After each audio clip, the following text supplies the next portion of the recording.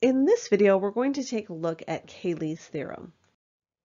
Cayley's theorem states that every group is isomorphic to a group of permutations. And what that means, or why that's important, is a group of permutations is in general easier to work with. We know some of the rules involved in multiplying permutations and so forth.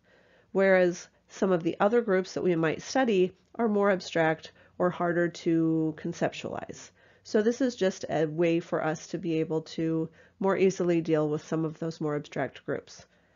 When you're dealing with Cayley's theorem, what we're going to do is we're going to define a function, t of g, that goes from g to g, so we're not changing the group, but we're saying such that t sub g of x is equal to g times x. Or in other words, we're going to multiply each value of g by each value of g on the left. So if we're looking at U12, and in the same way that we say G is isomorphic to G bar, this is U12 bar, which means it's the group that it's going to be isomorphic to, which means we need to know what U12 is, and U12 is the set of all values less than 12, relatively prime to 12, which I've already listed for you, 1, 5, 7, and 11. Now, what does this Cayley's theorem tell me I should do? It says take those values, so t sub 1, t sub 5, t sub 7, t sub 11, which means I'm going to take each value multiplied by that on the left, and I'm going to write it essentially as a permutation.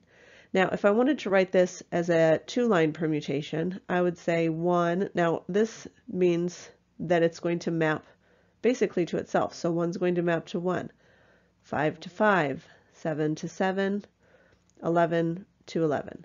So essentially this is just the identity permutation. It's not doing anything. It's not changing anything.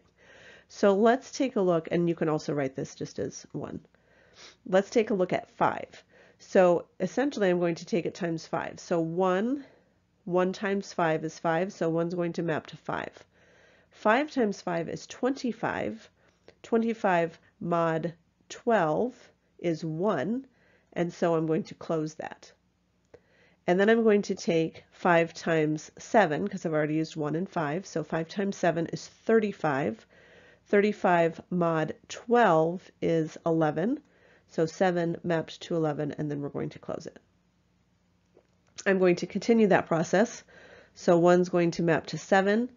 7 times 7 is 49, which is actually 1 mod 12. Again, we're in mod 12. Then I'm going to go to 5.